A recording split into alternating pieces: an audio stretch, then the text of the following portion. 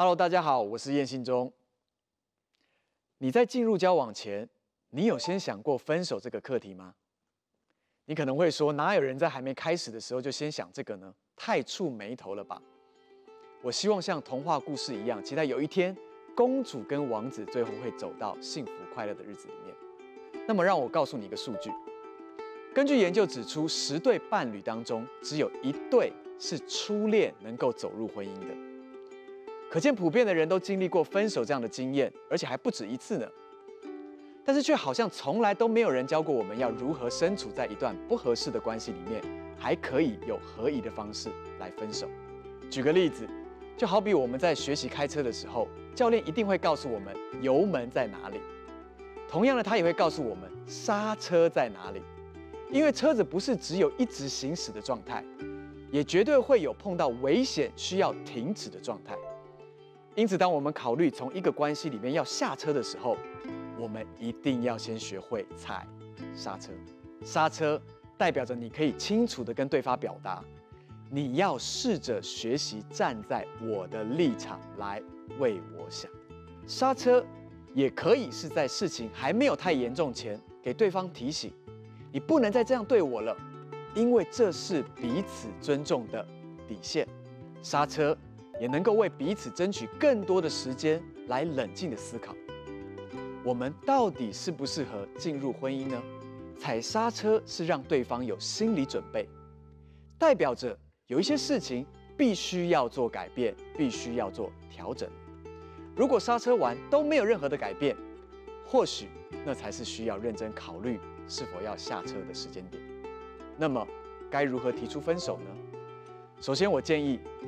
分手这样重大的事情，绝对不应该逃避。我们常常听人说要好聚好散，因此千万不要只是透过一些 Line 啊、简讯啊、IG 啊这些 social media。我建议你一定要面对面，而且带着消化过的回应，而不是带着怒气。分手是一个过程，是需要时间、空间、环境，帮助人从伤痛的里面慢慢的走出来。所以千万不要太快又进入到下一段感情的里面，因为这一段感情结束，必定有许多的功课值得我们去思考、去学习。就如同在迷恋跟真爱那一集的里面，我有特别提到，我看到一些年轻人在每一段的关系里面都持续掉入同样的陷阱，好像进到一个没有办法停止的循环一样。所以我建议你，当一段关系的结束。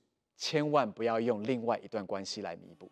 可是有很多人会回应我，因为我难过啊，我失落孤单呐，所以我才会想要马上找一个人，让我不会那么难过嘛。那么这就是一个非常危险的想法哦，因为关系永远是无法随便找一个人来替代的。更何况我们都应该以长久的未来做考量，而不是以眼前的短暂的满足来为考量。尤其是在这么大的创伤期的过程的里面，我们自己的情绪跟理智都没有办法对焦的混乱时刻，我们更需要做的其实是独处，或者是找寻家人，或者是同性成熟的好朋友来陪伴我们，而不是再去寻找另外一个异性来填补空缺跟难过。其实难过是身体里面一个内建健康的机制。目的是要保护我们，所以大声的哭泣吧。你可能会非常的激动，甚至是到失控，进入到一个发呆的状态。这其实都是一个恢复的过程。所以不要再去压抑任何的情绪。可能在这个爆炸期的当中，我们通常最想要问的就是：为什么是我？为什么这些事情要发生在我的生命当中？但是这个问题，或许也是最不应该问的。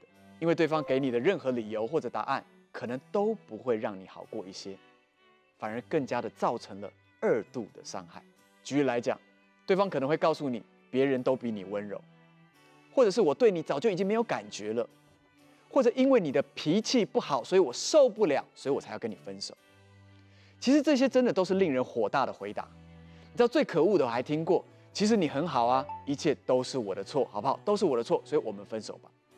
你知道这些不成熟又不负责任的回应，就连我自己在陈述这些时候，我都有一股火莫名在我里面烧起来。